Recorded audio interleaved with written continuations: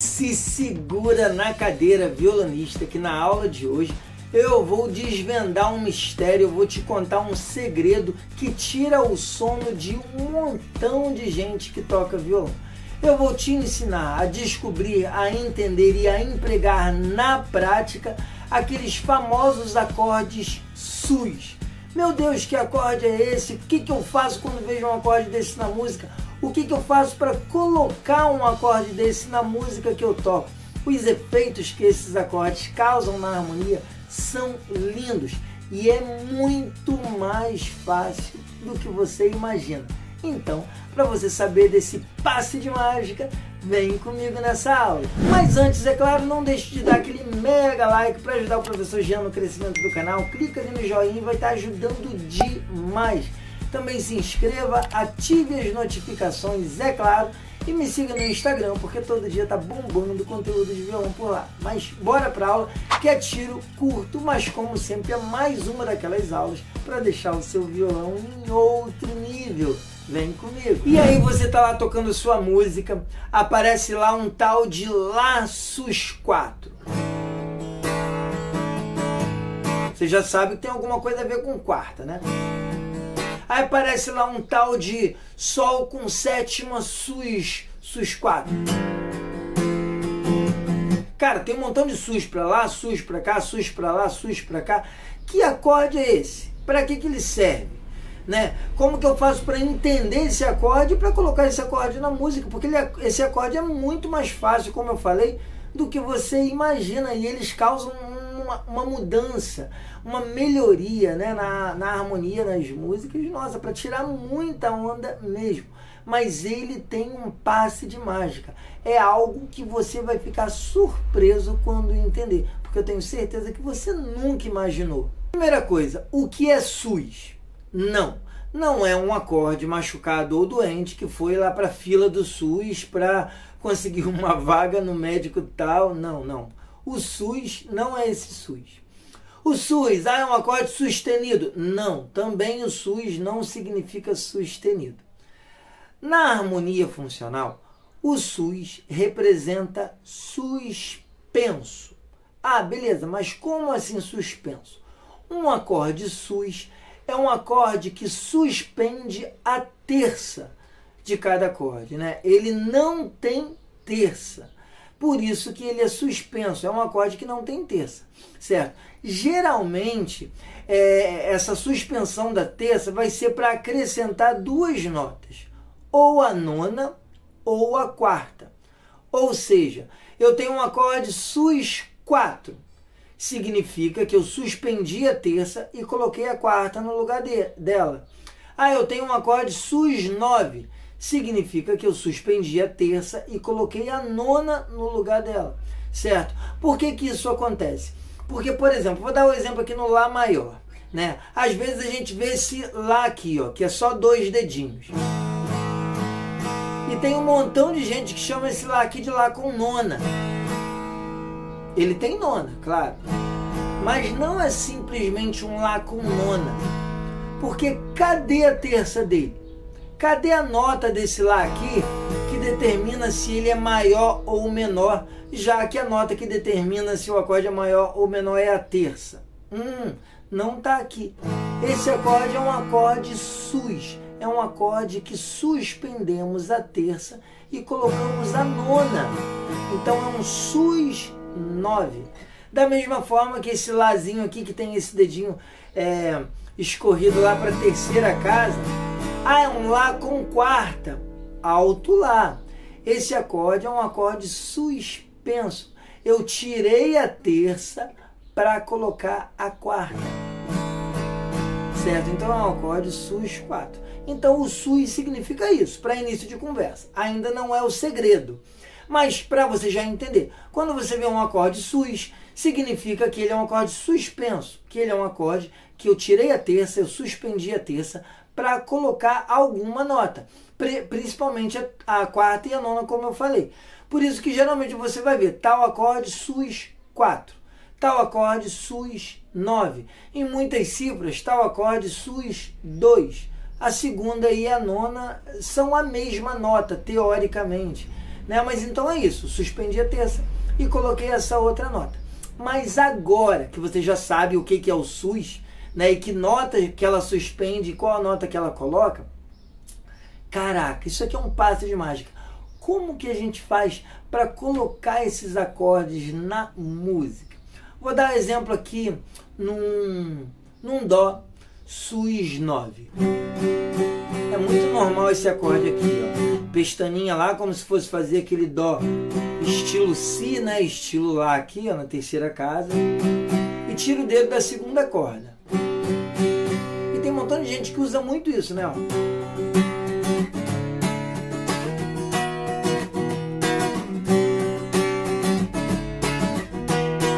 É uma sequência de três acordes sus. O Dó, sus 9, o Ré, sus 9 e o Mi, sus 9 eu não tenho terça nesses acordes, eu tenho só a nona no lugar da terça, certo? Então você já deve ter se deparado com esses acordes aqui.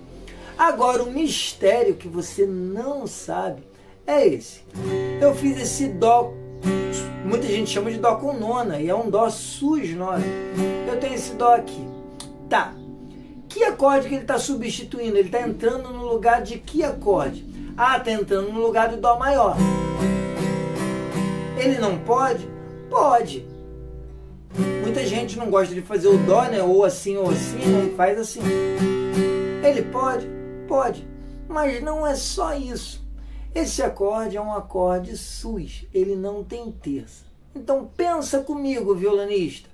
Qual é a nota que determina se o acorde é maior ou menor? Você vai ficar chocado com essa revelação aqui agora.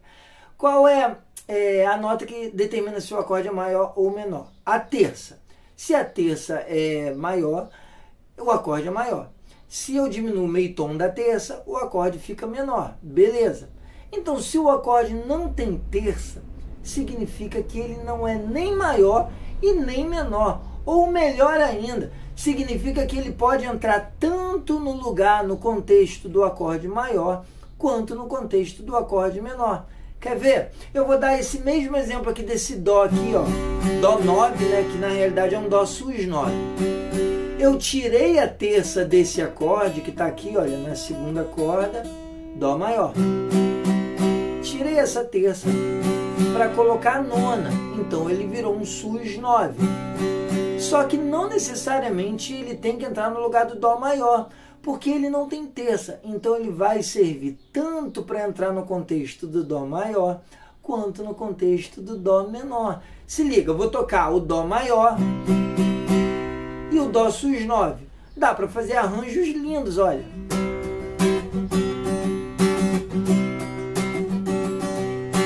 Normal. Nesse contexto, ele contribuiu na harmonia maior.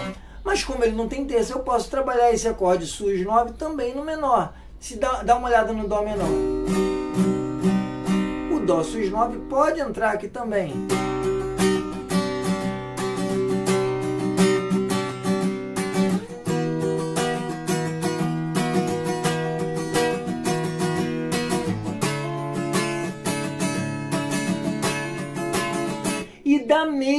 Já gostou, né? Já gostou? Sentiu que a aula tá esquentando. Eu vou te mostrar um passe de mágica aqui daqui a pouquinho. Você vai ficar de boca aberta. Mas da mesma forma, esse acorde sus, é, o sus 9 que a gente fez, o sus 4 é a mesma coisa.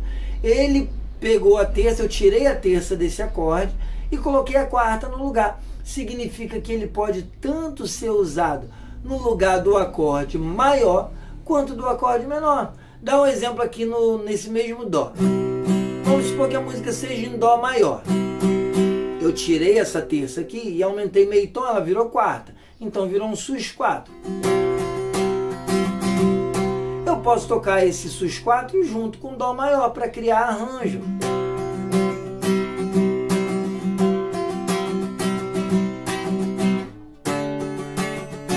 Ré, ó, Ré sus 4, Ré, Mi, Mi sus 4, Mi, Mi sus 4, Mi, certo? Mas eu também posso usar o acorde sus 4, como ele não tem terça, para criar arranjo com acorde menor. Dá um exemplo, ó, Dó menor agora. Posso fazer o Dó sus 4 e Dó menor. Ré sus 4 menor. Ó. Mi sus 4 Mi menor. Esse é o segredo que estava trancado. Não acabou, hein? Segura na cadeira que ainda vem mais aí. Mas esse é o segredo trancado. As sete chaves e que muita gente não sabe. O acorde sus, ele pode ser utilizado para criar arranjos, tanto em cima de acordes maiores quanto de acordes menores. O acorde sus 4 e o acorde sus 9 significa que eu tirei a terça e coloquei a quarta, virou sus 4. Tirei a terça e coloquei a nona ou a segunda, virou sus 9, virou sus 2. E esses acordes trabalham tanto com os maiores quanto com os menores. Eu vou dar exemplo agora em dois dos acordes mais conhecidos e mais usados por vocês, violonistas, para a gente criar arranjos. Você vai ver que a sua música nunca mais vai ser a mesma depois que você aprender isso. Mas antes, já deu mega like? Tô aqui olhando, aqui ó, te encarando. Já foi lá, clicou no joinha para ajudar o professor Jean? Brincadeiras à parte, não custa nada. Clica ali no joinha, vai ajudar demais no crescimento do canal. Também se inscreva, ative as notificações. É uma mega, mega novidade. Se você gosta das minhas aulas, da minha didática, do meu jeito de ensinar violão, lancei o meu curso de violão na Hotmart com a minha própria metodologia, a MGTV. O curso tá lindo e é do zero. Vou deixar aqui na descrição do vídeo todas as informações do curso e, é claro, de quebra você vai conhecer um pouquinho da história musical aqui do seu professor. Mas bora lá, olha. Pega o seu violão e segura essa pedrada, porque agora é para o seu violão explodir. Dentro desse pensamento que a gente já viu, dessa aula aqui, que pode parecer simples, mas que já desvendou esse mistério para uma infinidade de violonistas que estão assistindo, é, a gente vai trabalhar com esses dois acordes, tanto a parte maior quanto a parte menor. Olha, o Lá e o Ré. São acordes que a gente usa muito né, no tom de Lá maior. Lá maior e Ré maior. Até aí tudo bem. Quantas vezes você já viu, por exemplo, que tirando esse dedo as pessoas chamam de Lá com nona? Já sabemos que não tem terça então isso aqui é um Lá sus 9. A mesma coisa do Ré. Tirei o dedinho aqui, olha, da primeira corda, Ré com nona. Tem nona, mas isso aqui não tem terça. Então é um Ré sus 9. Da mesma forma, no Lá, chegando o dedinho para frente, vai ser um Lá sus 4.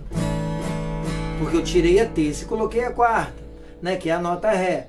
Da mesma forma, o Ré, olha dedinho aqui na terceira casa, primeira corda, Ré sus 4.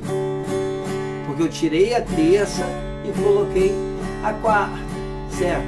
Então temos Lá, Lá sus 9 e Lá sus 4. E temos Ré, Ré sus 9 e Ré sus 4.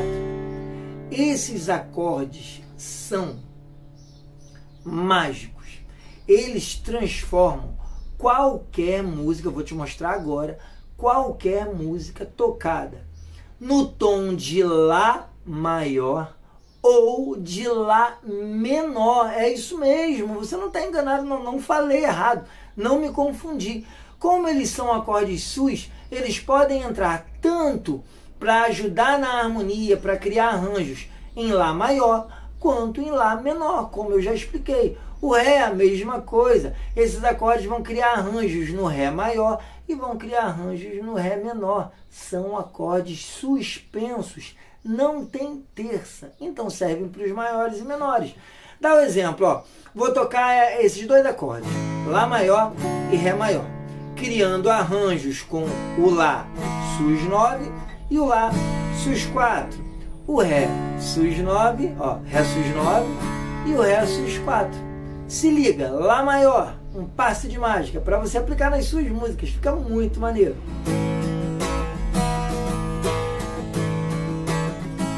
Ré.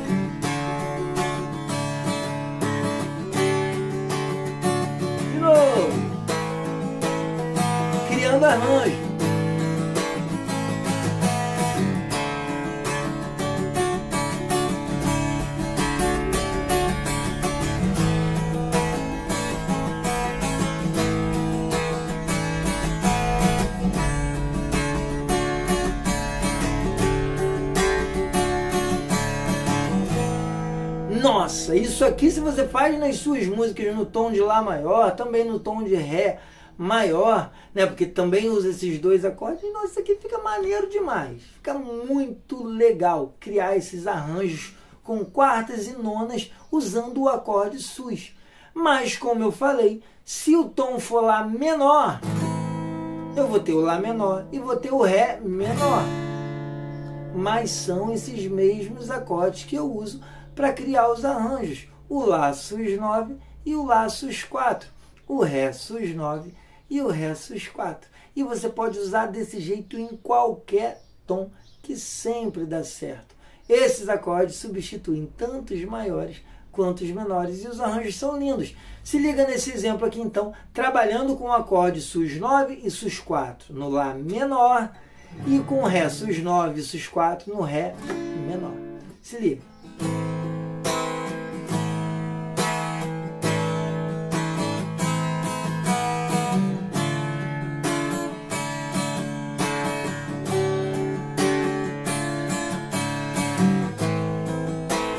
Menor é bonito, né?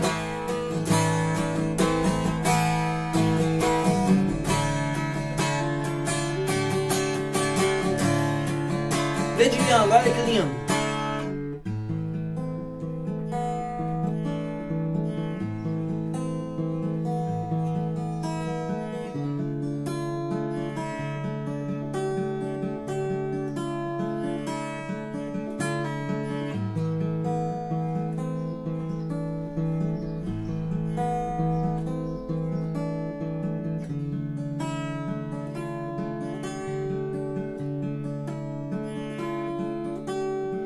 E a onda tá tirada e mistério, segredo revelado. Pode bater palma porque isso aqui é maneiro demais. É para deixar o seu conhecimento sobre música, sobre violão lá no alto e a sua habilidade do violão lá nas alturas também. Muito obrigado a você que ficou comigo em mais essa super aula. Espero ter conseguido te ajudar muito a evoluir mais um pouquinho no violão com esses segredos do acorde sus que eu te revelei hoje para colocar nas músicas e tirar muita onda, hein? Já estou aqui como sempre, ansioso pela nossa próxima aula. Foco e fé, Deus na frente sempre. Te espero lá.